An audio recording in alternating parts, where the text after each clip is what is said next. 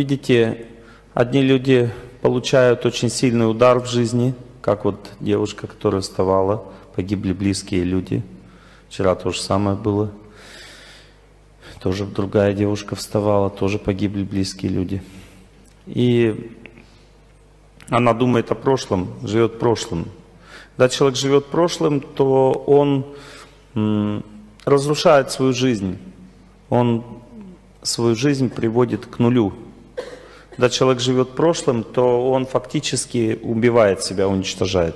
Это состояние называется депрессия. То есть разрушается организм, человек становится больным, запускается механизм самоуничтожения. У нас у всех есть склонность к такому состоянию, жить прошлым. Эта склонность приводит к лени, апатии. Например, человеку из-за этой склонности трудно вставать с постели с утра, потому что он не может жить настоящим, он все еще хочет спать. Это означает, что он живет прошлым. Мне здесь хорошо в постели, еще немного посплю. Еще немного посплю. То есть он, уже пора вставать, уже постель закончилась, все. Но ты хочешь еще. Из счастья бывает, люди живут прошлым из счастья. Они вспоминают счастье прошлого. Вот. Я так хочу, чтобы лето не кончалось, чтобы оно повсюду мчалось, за мною след. Ну, уже лето заканчивается, все. Надо жить настоящим. Или от страданий человек живет в прошлом. Он страдает, он, вспоминает, как хорошо было в прошлом. Вот. Но жить в прошлом означает убивать свою жизнь. Есть люди, которые сильно хотят чего-то в жизни, у них есть сильное желание. Это сильное желание заставляет еще их настроиться в будущее, все еще впереди. В результате человек уходит от настоящего, от своей жизни и сильно напрягается. Люди, которые живут в прошлом, они в депрессии находятся, теряют волю, Люди, которые живут в будущем, их воля становится очень напряженной и изнашивается быстро. Когда воля изнашивается, волевые силы невозможно потратить на самосовершенствование. Человек, который живет только тем, что надо отработать смену и уйти домой, когда он в будущее переносит свою жизнь на работе, придя домой, у него нет сил даже что-то сделать или сказать близким людям. Он так сильно устает. Когда человек переносит себя в будущее, то счастье в настоящем получить невозможно. В результате он ждет счастья в будущем все время, и счастье не приходит. Поэтому такой человек страдает все время. И даже он смотрит фильмы, в которых также счастье в будущем – эти фильмы все имеют одно и то же содержание. События происходят очень быстро, надо куда-то бежать, в кого-то стрелять, и в конце концов должно произойти так, что ты выживаешь. И когда человек досмотрел такой фильм, ну, у него только одно чувство возникает, ну, слава Богу. Фух. И все. И в это время он порцию счастья получает. То же самое происходит, когда человек приходит домой. То же самое, когда он садится в трамвай. То же самое, когда он приходит на работу. То же самое, когда он начинает идти с работы. В эти моменты он получает порцию счастья. Наконец-то. Слава Богу. Но в следующую секунду он думает, скорее бы доехать домой, скорее бы отработать и так далее. Понимаете, да, о чем я говорю? У нас есть два эпизода жизни – в жизни в нашей. Два эпизода жизни. Один эпизод называется труд или аскеза, а другой эпизод называется отдых или расслабление. Когда человек не может принять труд или аскезу как радость, как свое счастье, он не может принять, он также не сможет и отдохнуть. Потому что во время отдыха он также ждет чего-то еще. Другими словами, если человек не живет самодостаточной жизнью, он не переключается на служение другим, он всегда будет страдать. Самодостаточная жизнь означает заставить себя перестать думать о себе, заставить себя. Мужчина о себе, когда думает, он в какое состояние входит? Он входит в состояние, у меня ничего не получается. У меня ничего не получается, скорее бы у меня получилось, а вот если я буду таким, мне будет легче. Вот женщина, когда думает о себе, она думает, у меня все плохо в жизни. Я хочу вот такую жизнь.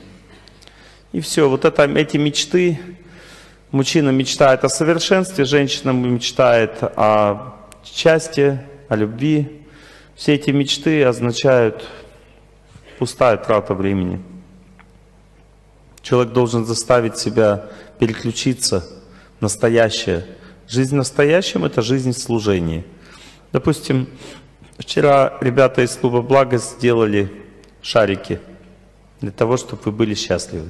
Они потратили кучу денег своих, делали эти шарики долгое время, заворачивали их в пакетики, на которые тоже они деньги потратили, только для того, чтобы вы были счастливы. И все. Странно, зачем они это делают?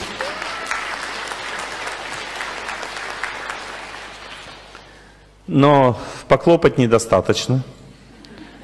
Не то, что от вас что-то требуется. Типа мы похлопали, все, шарики съеты, мы похлопали, все нормально. Свое отработали. Это не простые шарики. Это шарики, которые призывают жить точно так же. Потому что по-другому счастья не бывает. Когда человек отдает себя, он что-то делает для других, его жизнь наполняется большим, ярким, яркими красками очень. Но если человек э, не преодолевает этот рубеж, то он не сможет победить судьбу, не сможет. Поэтому есть три состояния жизни. Одно состояние жизни называется э, состояние отвращения, неприязни как всем. Если глубоко покопнуть, это что за состояние? Это жизнь в невежестве или жизнь в прошлом.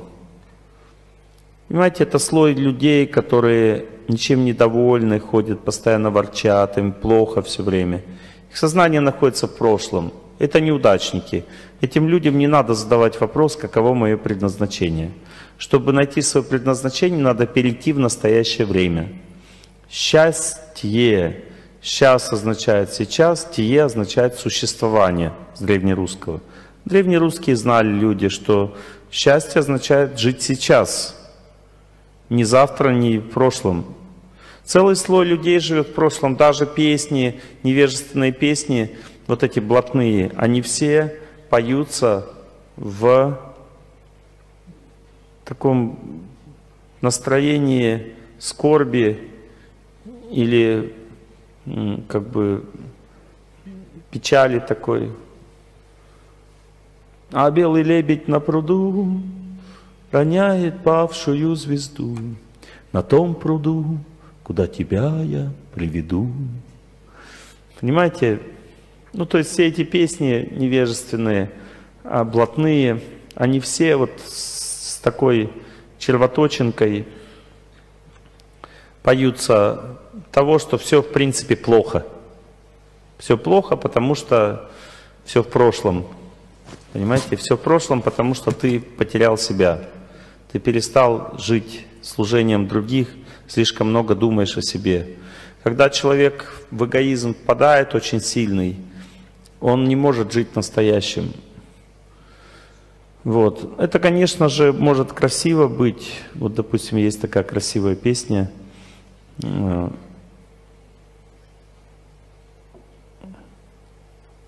красивая мед, песня, но она означает, что человек не может служить, он находится в прошлом времени, он живет прошлое. Человек сильно в будущее устремляется, и это значит, что качели качнутся куда?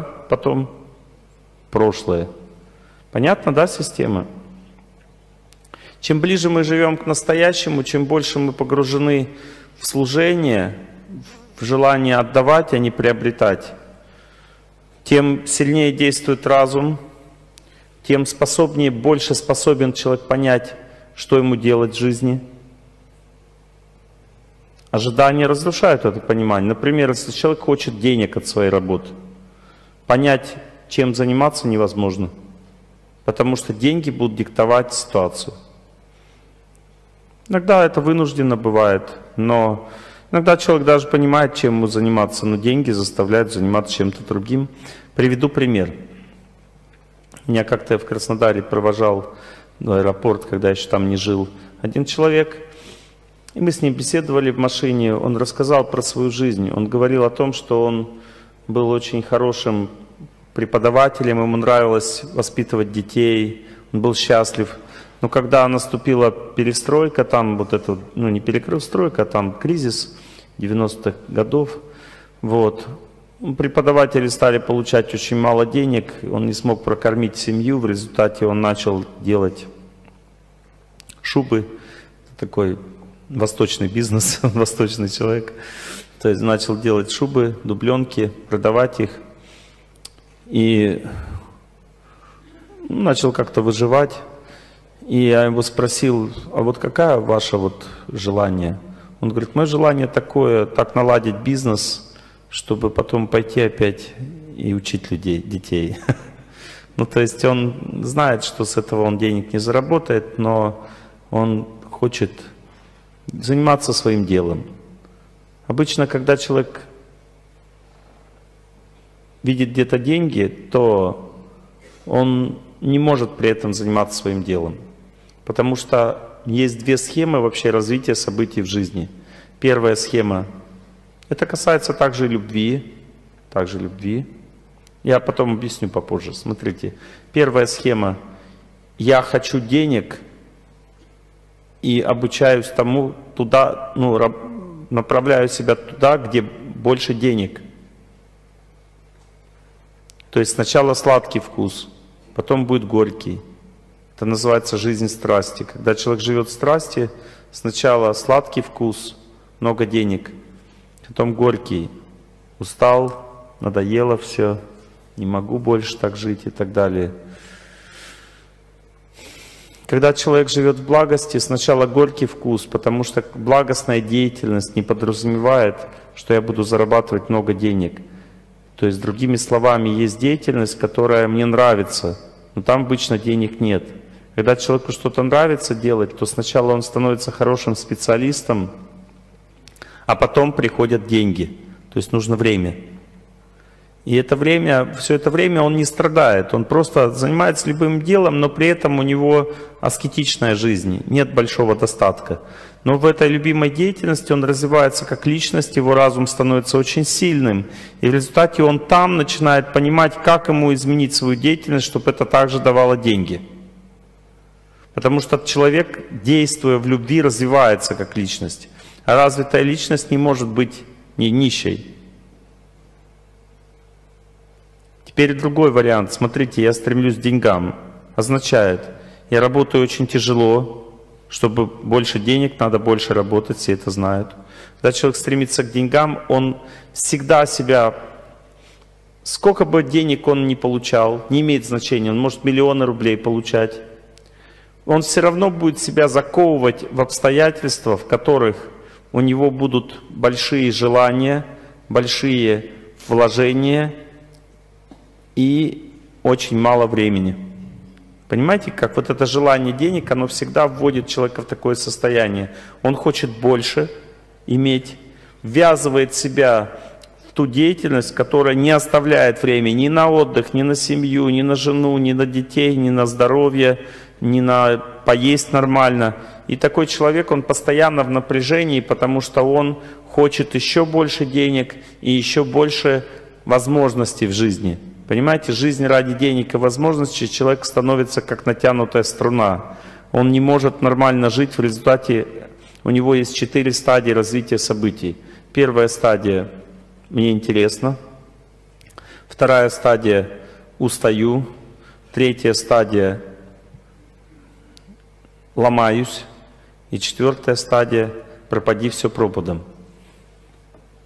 Понимаете, да? На стадии ломаюсь, он может заболеть тяжело. Если не пропади все пропадом, значит тогда тяжелое заболевание. Надлом тогда происходит. Теперь сразу возникает вопрос, а можно же ли быть успешным, богатым и при этом не париться? Один серьезный такой начальник спросил меня, когда мы на эту тему беседовали, на тему занятости и отношений к себе, он меня спросил, как ты думаешь, что лежит на столе у хорошего руководителя? Я говорю, ну там ручка, блокнот, там. Он говорит, нет. А я говорю, «А почему? Он говорит, ну зачем? Есть у подчиненных ручка и блокнот. И оказывается, потом оказалось, ноги на столе у него лежат. Хорошо руководить. Мне сложно было догадаться.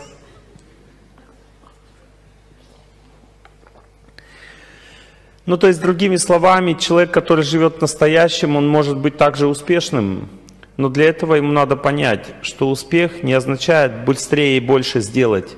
Успех означает быть трезвым, остаться самим собой. Трезвый человек, разумный человек, мыслит очень глубоко, спокойно, и он способен принимать правильные решения, потому что не больше мыслей дают хороший результат, а правильные мысли дают хороший результат. Разум действует только в спокойной среде или только в настоящем времени – Поэтому главная задача жизни человека – это остаться в настоящем времени. Если он переходит в будущее, он уже теряет разум, а тем более, если он ломается, опять теряет разум. Вот смотрите, хороший руководитель, он сидит, много людей высказывается. Его задача – остаться в настоящем времени. Потому что каждое высказывание заставляет привязаться к этому, быстрее принять решение. Но хороший руководитель не привязывается ни к кому из подчиненных. Не то, что он им не доверяет, просто он хочет остаться в настоящем, он хочет быть счастливым. Он просто слушает всех, кивает головой. И если он в конце вот этой вот беседы, всех высказываний, он не привязывается ни к одному из мнений, у него создается абсолютно правильная, четкая картина, как действовать. Она очень твердая, правильная и спокойная. Такой человек, не совершая много усилий, принимает всегда правильные решения. И каждый человек руководитель. Женщина руководитель своих детей, мужчина руководитель своей семьи, ребенок руководитель своей судьбы. Каждый человек руководитель в чем-то. И если мы бежим, суетимся или скорбим, это значит, что мы не хотим жить. У нас нет желания жить. Жить означает трудиться сердцем трудиться сердцем. Прямо сейчас. Заставить себя трудиться означает не страдать, а принять трудность. Допустим, я подхожу к своей двери, вижу, там собачка соседская навалила кучу. Есть три варианта. Невестный вариант – ругаться на соседей. Страстный вариант а, это суетиться, что-то там быстрее, там вызвать милицию, еще что-то там. А благостный вариант – просто успокоиться. Или быстрее убрать кучку, страшный, страстный вариант. Благостный вариант какой? Принять судьбу. Вот твоя судьба такая, что тебе навалили на кольцо. И самое главное в твоей жизни – это ну, не напрягаться, не суетиться, а просто успокоиться. И с радостью, спокойно, как бы принять правильное решение, то ли самому убрать кучку, то ли вместе с соседом с улыбкой на лице. Просто если ты пойдешь в невежественное состояние, ты соседу позвонить не сможешь, потому что ты будешь на него орать. Если ты войдешь в страстное состояние, ты быстрее уберешь кучу, потом не докажешь, что она навалила. Что же делать? Нужно просто помолиться Богу, пожелать всем счастья и принять, что у тебя такая жизнь. Вот тебе навалили под крыльцо, у тебя такая жизнь, принять это надо. Когда ты примешь, ты можешь сделать все, что угодно. Можешь с улыбкой на лице убрать сам, или с улыбкой на лице позвонить соседу и сказать, пойдем, у меня для тебя хорошая новость. Он выходит и говорит, что сегодня хорошая погода, Он говорит, а что это на крыльце? Ну, а, а я говорю, о, точно что-то на крыльце. Давай подумаем, что это такое вместе. О, так это моя собачка накакала. Ну, бывает, что делать, не волнуйся. Видите, да? Разумное поведение всегда означает способность в тот момент, когда приходит событие, остаться самим собой, остаться спокойным, даже если это очень трудно. Бывает, что очень трудно. Не, бывает, не, не обязательно, что ты останешься полностью спокойным, но хотя бы просто стремиться к этому, и то уже победа. И то уже победа. Это в конфликтных ситуациях в жизни бывает. Вот когда, допустим, муж сделал какую-то глупость. В этот момент нужно четко понимать, к чему ты должен стремиться. Не к тому, чтобы ему объяснить, как надо, это страсть. Ты будешь давить на него, он все равно не поймет. Не к тому, чтобы расстроиться и уйти в спальню плакать, а к тому, чтобы вот, пытаться понять, что происходит – надо начать молиться, как только тебе трудно становится, нужно начать желать им счастья, молиться Богу. Отвлечься от ситуации означает кому-то служить. Допустим, сказать, давайте я накормлю сначала мужу. Заставить себя это сделать. И когда вы начнете делать что-то доброе для человека, вы увидите в нем доброту. Видите, муха даже слушает лекцию. Интересно тоже. Вот. То есть, когда человек по-доброму относится, он душу начинает чувствовать в другом человеке. И в этот момент от души же исходит настоящая энергия. В этот момент я успокаиваюсь и могу потом по-доброму поговорить с человеком о том, что произошло. В результате он поймет, что что-то не так. Видите, мы сегодня с вами говорим о чем? О том, что предназначение человека, можно свое предназначение понять, если ты правильно живешь. Вот это очень главный и ключевой вопрос. Если человек не понимает этого вопроса, тогда дальше говорить не о чем. А вообще, если уж говорить дальше, то давайте сначала вспомним то, о чем мы говорили вчера. Да? Мы говорили о том, что женщины отличаются от мужчин. Так? И у женщин самое главное предназначение, оно находится в личных отношениях. Женщина получает отдых, восстановление сил от личной жизни. Если женщина не стремится к личной жизни, отдыха не будет, означает, она изнашивается и теряет себя, уходит в будущее. Да? Не в настоящем живет. В настоящее время женщина входит в личных отношениях. Да? Мужчина в настоящее время входит в результате побед. Он действует, побеждает свою судьбу в труде. Он как бы терпит свою жизнь, принимает вот условия жизни, работает, где-то трудится, не, не лежит на печке и ждет, когда ему работа достанется хорошая, а работает, работает там, где Бог дает. Видите, отличаются мужчины. Не пытайтесь стать кем-то другим, у вас не получится. Вы просто сами себя будете обманывать. Нужна любовь в женском теле, нужно отношение. И тогда будет фундамент для того, чтобы развиваться в деятельности. Даже и деятельность для женщины, она все равно находится в сфере отношений. Поэтому часто женщины задают вопрос, каково мое предназначение, где мне работать. Вот где мне работать здесь больше как бы подходит, чем каково мое предназначение. Потому что если женщина находит правильную сферу деятельности, она там легко находит и кем ей быть. Понимаете, а правильная сфера деятельности, лучше сейчас не общаться с ни с кем здесь перед сценой. Мужчина, слышите? Вы отвлекаете всех сейчас, всех, поверьте мне. Если кто-то выходит здесь вперед, то заканчивается лекция, мышление, сознание сразу стремляется к тому, кто пришел. Если есть какой-то вопрос, вы тогда выйдете туда и там с ним поговорите. Здесь не надо перед всеми общаться. Итак, о чем я остановился?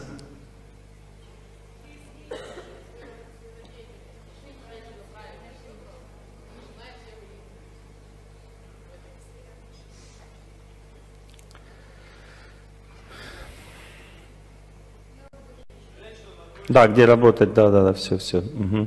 Смотрите, то есть женский труд это труд, находящийся в сфере отношений. Это означает, что этот труд находится в сфере услуг или социальной деятельности, в сфере заботы. Например, если женщина работает преподавателем, то есть она заботится о детях. Все женщины по своей природе учителя, они учат детей.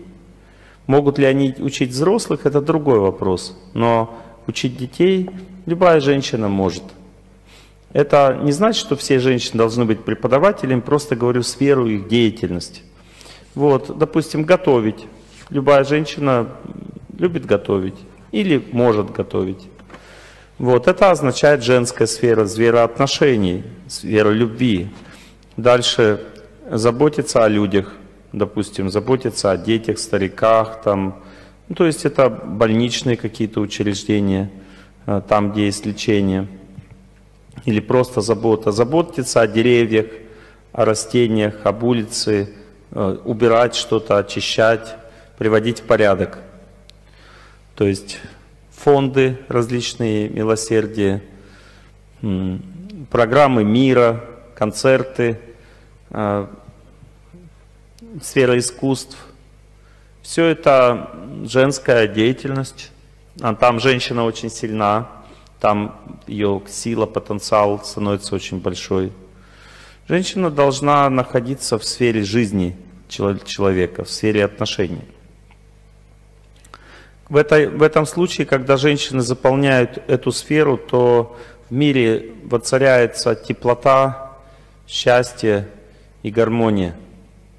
А одна из причин, почему холодно жить сейчас стало людям, заключается в том, что женщины занимаются не своим делом. Они по природе, ну как бы не понимают своей природы просто.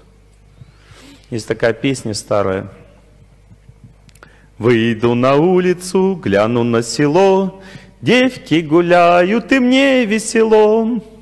Понимаете, то есть женская энергия, она приносит счастье, создает ощущение гармонии, любви.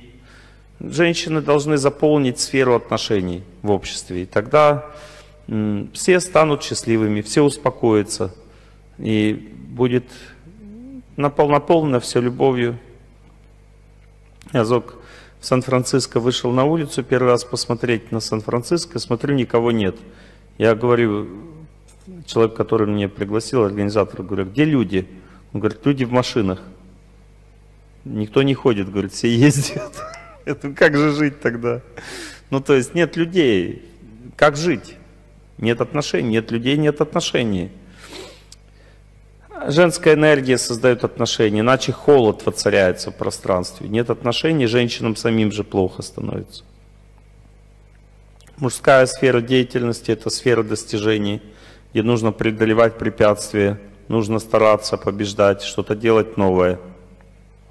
Женщина хорошо действует, когда есть инструкция, когда все понятно, она в сфере известных правил – очень сильно ориентируется женская психика. Поэтому она всегда пытается прояснить. Объясните, как правильно. Вот где правила? Расскажите правила, как действовать. И тогда женщина чувствует себя очень уверенно. Мужская психика, наоборот, она очень хорошо действует тогда, когда нужно что-то создавать. Даже лекцию мужчины и женщины по-разному слушают. Допустим, женщина, она слушает вот так лекцию. Она впитывает все, создает картинку себе, как правильно, все, она вот так вот. Мужчина, наоборот, слушает вот так. То есть он сравнивает с тем, что он знает. Вот как мужчина слушает, он думает, так, это согласен, здесь не согласен, это применим, это посмотрим. Ну, то есть он сравнивает со своим, пытается сам вывести это знание – когда мужчина, допустим, до чего-то доходит, он говорит, я и сам это знал. Ну, то есть он не может откуда-то взять что-то, он всегда из себя все берет. Женщина же, она с чистого листа все берет. Поэтому, допустим, когда дети учатся в школе, то девочки, они все впитывают и отвечают, как преподаватель говорит. Вот они один в один говорят, как старший сказал, все. И получают пять. Мальчик всегда что-то выдумывает. Он говорит, говорит, что-то раз свое пошел. Он говорит, нет, это неправильно. Четыре или три. Но со временем к 10 классу мальчики начинают некоторые больше ориентироваться в разных направлениях, потому что они везде лазят в своем сознании. А девочки, у них ориентация вширь, она не развивается, потому что они ориентируются хорошо внутри того процесса, который известен. Причина, почему так действует мышление, такая, что главное препятствие в развитии у женщины это страх. То есть женщина скована страхом, женщину, женскую жизнь, ее судьбу сковывает страх, а мужскую судьбу сковывает неуверенность в себе или ощущение собственной неполноценности, неразвитости. Понятно, да? У женщины страх или отсутствие гармонии, гармония, ей нужна гармония во всем – а мужчине нужна победа. Гармония или любовь – это одно и то же. Победа или знание, понимание. То есть женщине нужна гармония, а мужчине понимание. А мужчину спросить, как тебе лекция? Он говорит, я не все еще понимаю. Женщину спросить, как лекция? Интересная. Не очень интересная. Ну, то есть она говорит о гармонии. Она пытается гармонию установить знанием. А мужчина пытается разобраться так, не так, вот это согласен, не согласен. То есть он как бы... Понятно, да, система мышления? Поэтому из этой системы мышления и сфера деятельности вытекает. Женщине легче работать там, где все понятно. Это социальная сфера. Там понятно все, что делать. Допустим, есть сфера, в которой нужно развивать. Бизнес, допустим, там все надо развивать. Там ничего не понятно. Это мужская сфера. Ну, бизнес может быть и понятный, социальный, допустим, там парикмахерская, все понятно, надо постригать. Можно постригать, можно не постригать. Вот два варианта есть. Женщине спокойно там работать, когда есть инструкция, даже пусть сложная инструкция, не обязательно простую деятельность совершать.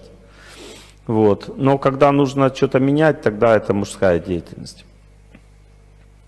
Видите, есть разница между мужчиной и женщиной. Мужчине нужно самому развиваться. Если женщина, допустим, в семье мешает ему развиваться, то он страдает. У женщины и мужчины по-разному устроена психи психика. Есть а, две части психики. Есть внутренняя психика, внутренний мир человека. Это его черты характера. Есть наружная часть психики, как внутренний каркас и наружный каркас психический. Внутреннее – это то, что в нас заложено, черты характера. Наружнее – это как мы себя ведем. Это две принципиально разные вещи в жизни, чтобы вы знали. То, что заложено в человеке одно всегда, а он вести себя может быть по-разному. Так вот, знаете, мужчины наружный каркас или его способность вести себя как-то очень статично. Он снаружи занимает всегда оборонительную позицию. Его психика всегда снаружи очень тугая, твердая, непреклонная. То есть его задача защищать ситуацию. Он защищает себя, других, то есть он как бы соткан из защитной энергии, наружный каркас. Поэтому так как мужчина защищается, поэтому ему трудно адаптироваться в жизни.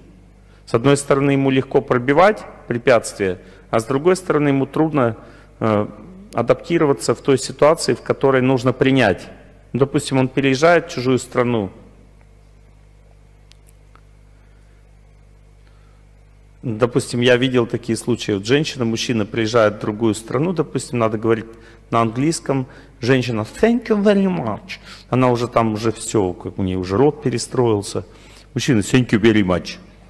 Ну, то есть, как бы, ну, у него, он не может говорить, жить и думать по-английски. Женщина сразу жик, и как бы она перестроилась. То есть у женщины наружный психический цилиндр, он быстро адаптируется к любой ситуации. Он быстро меняется, она сама быстро меняется. Женщина сходила на лекцию, послушала лекцию, приходит домой, она уже другая. Она уже лекционная. Муж говорит, что с тобой произошло? Она стала лекционной уже, другой. Она по лекциям живет, и все, она уже другая. Не может понять, что с ней произошло. Женщина быстро подстраивается под ситуацию, поэтому говорит, замужем, она стала замужем. Мама приходит, э, ее дочка пожила с мужем неделю, она говорит, что тут какая-то другая стала. Она говорит, да, я теперь такая. Почему она такая стала? Потому что ей так удобнее жить с мужем. Она подстроилась под мужа, замужем стала. Вот. Внешне психически женщина очень быстро приспосабливается к ситуации, в которой она находится, и ей так комфортно жить. Она приспосабливается к ситуации, приспособилась, и все. И ей очень комфортно, ей хорошо. Ей нужно приспособиться. Мужчина, наоборот, ситуацию приспосабливает под себя. Он не может приспособиться к ситуации. Или он привыкает к ситуации, терпит ее, или меняет. Одно из двух. Внутренний психический цилиндр у мужчины очень податливый.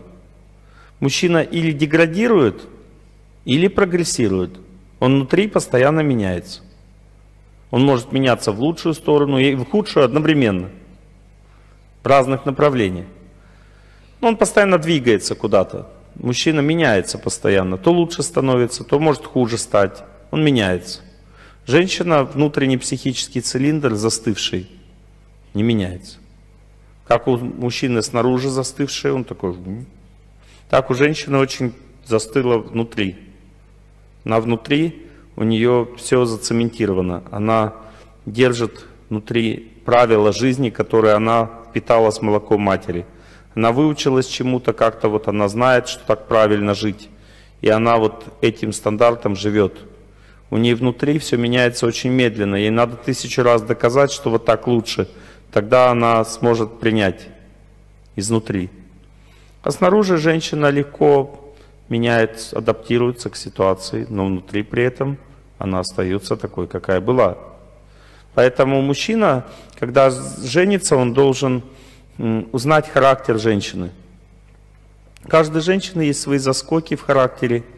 Она должна раскрыться, она должна покапризничать перед ним, она должна порадоваться, должна открыться, поговорить с ним. Иногда девушка скромная такая, молчит все время. И он думает, такая скромная она. Он думает, она всю жизнь такая будет. Вот так. Надо обязательно ее разговорить. Создать ей такие условия спокойные, чтобы она поговорила чуть-чуть. Когда девушка раскрепощается, то в это время ее эмоции начинают течь. Она начинает жить, ей нравится, интересно, она о чем-то говорит. И тебе надо послушать, ты это с этим справишься, нет? В жизни. Сможешь переварить? Или когда она обиделась, как она себя будет вести?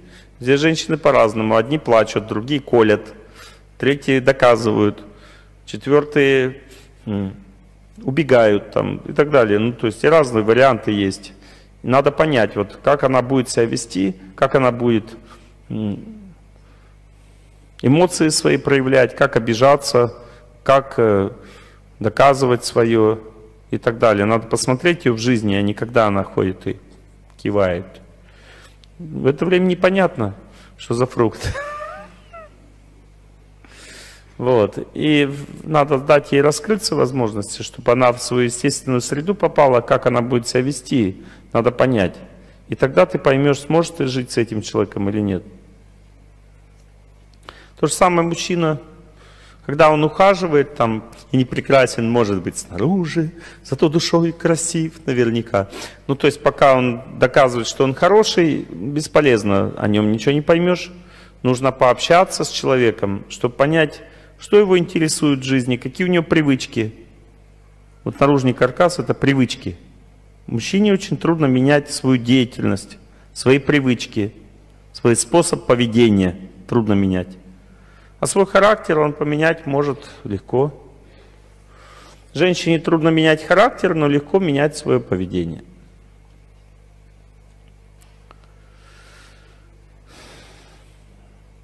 Таким образом, люди сначала должны познакомиться, а это означает, что они должны обниматься.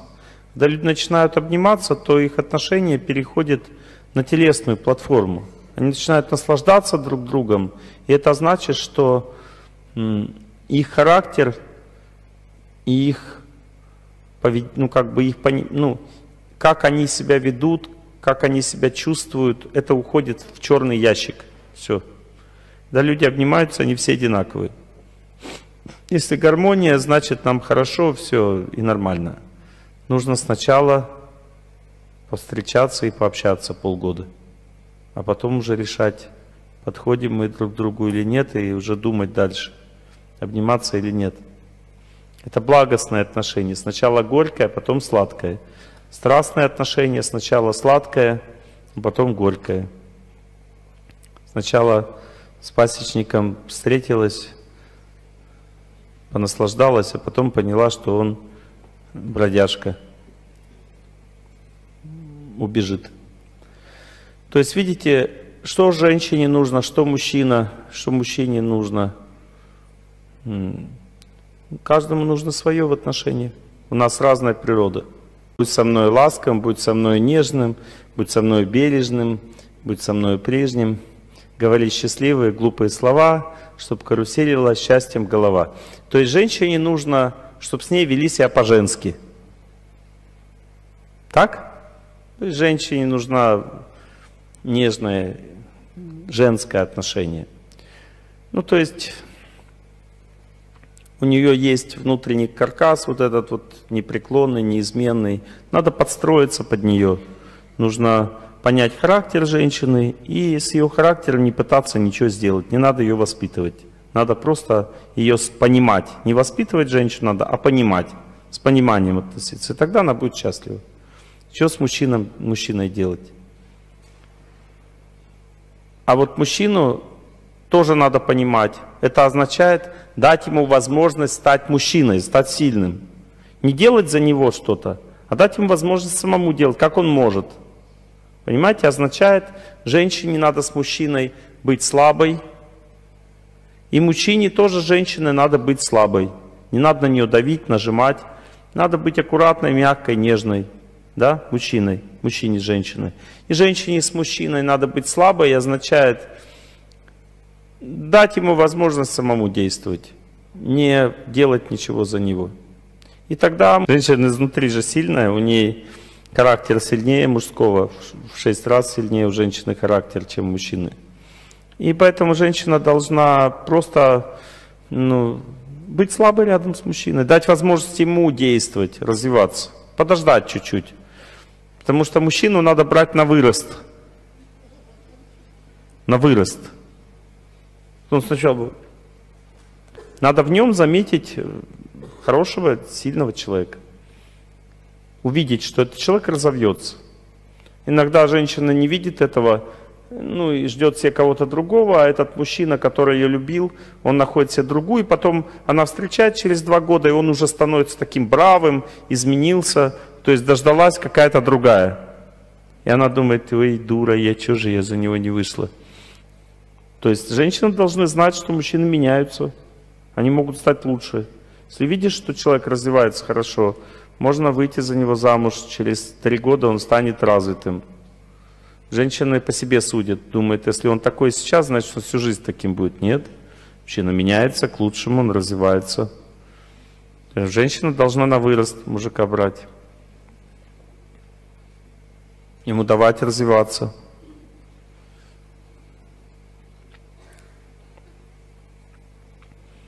Типа мужик женщину берет, да? Вы говорите, мне доказываете сейчас, да? Хорошо.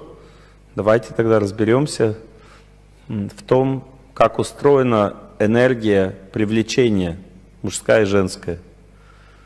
Мужская энергия привлечения имеет холодную природу. Мужская, а женская горячую. От женщины исходит сила желания – она жжет своим желанием. Если девушка хочет замуж, она всех жечь начинает вокруг, мужиков. Женатых, не женатых не имеет значения. Всех подряд. Поэтому в древней культуре говорится, девушку не замужем надо быстрее выдавать. Иначе всех спалит вокруг своей любовью, своей красотой. Вот. Мужская энергия сама по себе никого не трогает.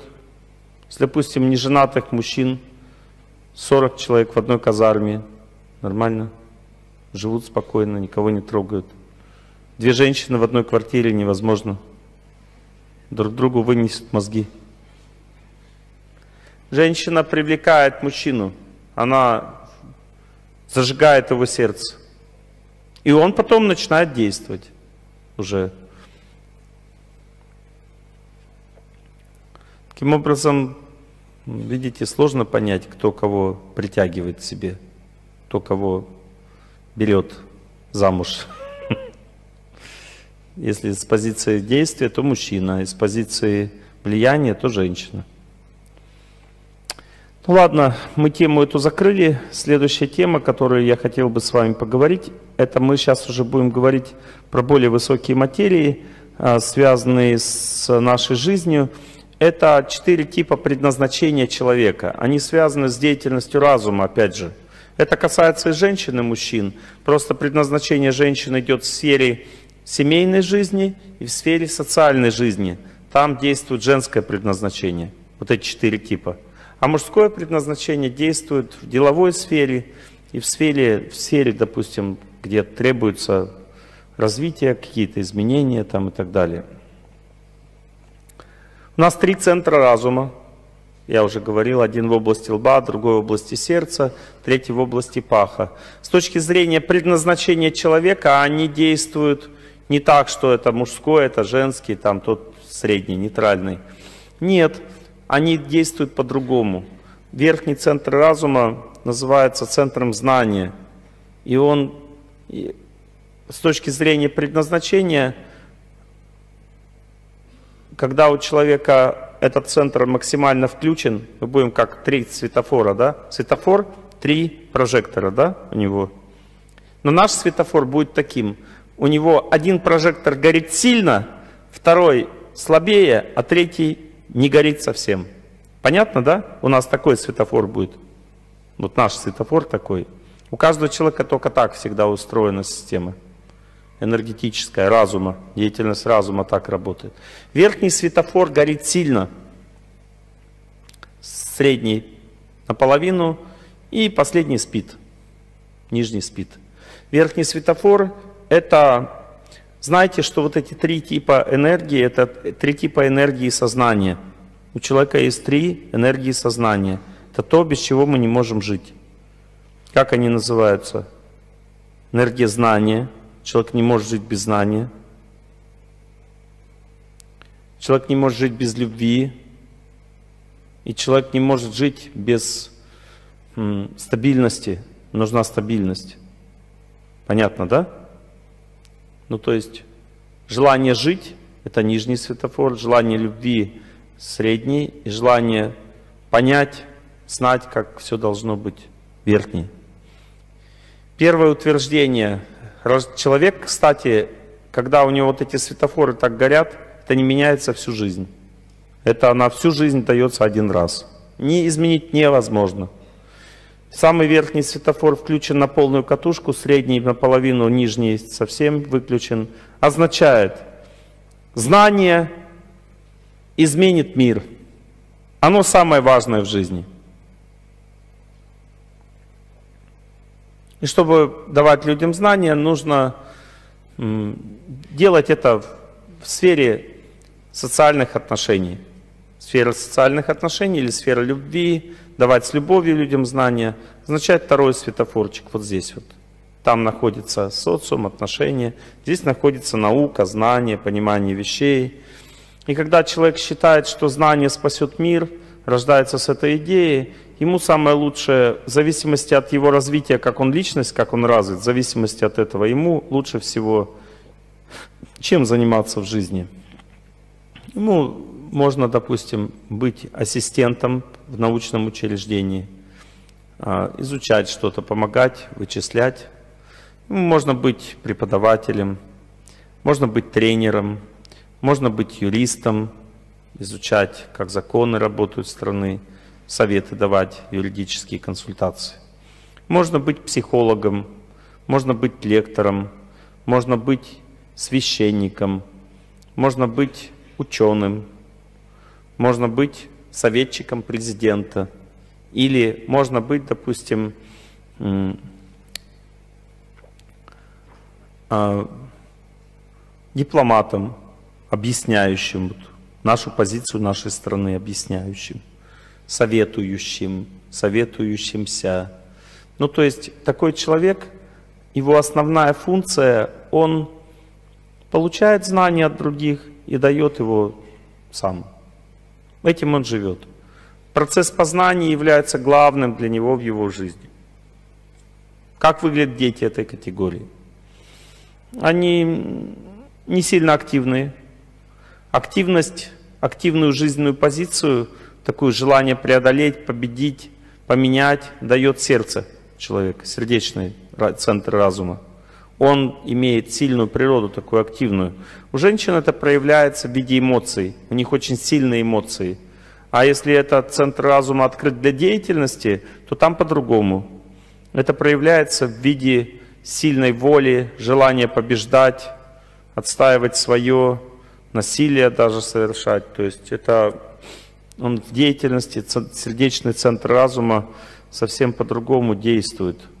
Верхний центр, он имеет аналитическую такую спокойную природу. Когда он самый главный, самый активный ребенок, который рождается, он наблюдает за всем, наблюдатель. Как вот театр Нитя, который сюда приедет, у них есть спектакль а, «Фимка», называется «Фимка». И показывается жизнь с детства, разные поступки, события, которые происходили у кого? У святого человека, то есть который потом стал монахом и служил Богу. И он, этот человек как раз первой категории.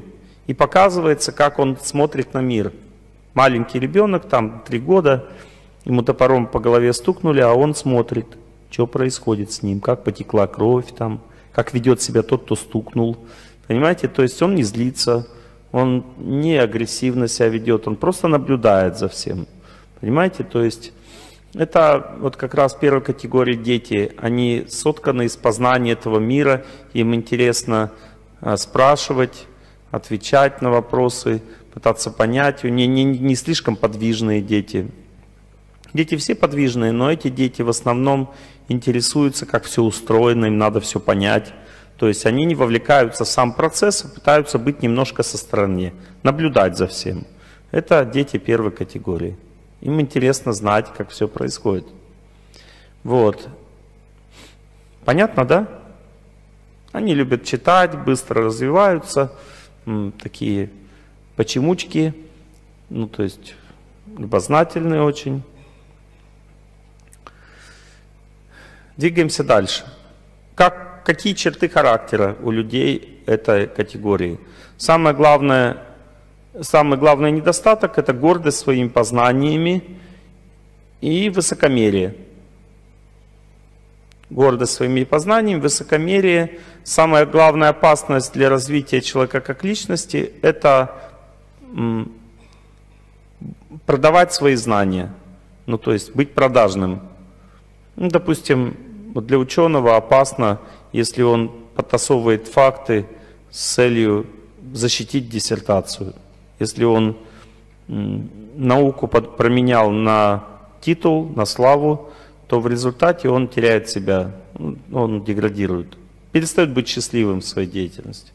Он становится гордым, заносчивым, но несчастным в сердце, потому что процесс познания разрушается в результате лжи подтасовки фактов. То есть правдивость является основой для ученого, для человека первой категории, для того, чтобы он был счастливым. Потому что когда он честно дает знания или берет знания, тогда он спокоен. Смирение развивает такого человека, потому что для того, чтобы получать знания, нужно учиться видеть старших, качество старших. Учиться видеть человека старшим, считать его старшим, даже младшего. Если ты от кого-то хочешь что-то услышать, надо очень смиренно слушать. Когда человек развитый первой категории, он готов смиренно слушать всех, даже младших. Это признак квалификации, высокого развития. Был такой случай, один наставник, он, у него была болезнь, связанная с сердцем, вызвали врача, аюрведического врача, ну, то есть это был в Индии. Врач пришел выпивший. Ну а если выпивший врач аюрведический, ясно, что это дисквалифицированный человек. То есть он нравственную медицину изучает, сам выпил. Ну, как-то несостыковка получается. Вот. Или, допустим, человек дает лекции по семейным отношениям, а сам бросает одну жену за другой. Стоит ли слушать лекции по семейным отношениям такого человека? Несостыковка. Точно так же врач, который выпил и хочет говорить о правильном здоровой жизни, дисквалифицирован. Но этот наставник, он был очень разумный. Он сказал своим ученикам, не выгоняйте его, они хотели его выгнать. Пускай он скажет, что он хочет. Он подошел такой, пощупал пульс его, такой пощупал, посмотрел. Вам надо больше гулять. И пошел. Ну и ученики говорят, ну и уматывай, нечего было бы сказать тебе. Как бы мы сами могли так сказать. И этот мудрый человек, он сказал, да, он прав. И начал каждый день гулять по утрам. В результате у него все восстановилось здоровье. У него сердце стало работать лучше. То есть этот совет ему помог, потому что он видел правду везде. Даже в тех людях, которые вроде бы недостойны говорить правду. Это признак очень сильного развития личности. Обычно люди не должны слушать недостойных людей. Это опасно. Потому что а, качество святого сравнивается с лебедем. Это качество называется способность отделять воду от молока. У лебедя есть такое свойство, он когда берет, воду выльешь, допустим, молоко в воду выльешь, оно там растворилось да, белая вода такая становится, он берет, пьет эту воду, в горло берет, в рот, начинает вот так, ого-го, так ее вращать во рту, и молоко оседает на стенках, а вода остается. Он и выплевывает уже чистую воду, без молока. Так может лебедь пить молоко из воды. Точно так же возвышенная личность способна послушать человека, взять только главное, а все воду, всю воду выплюнуть, суть оставить. Понятно, да?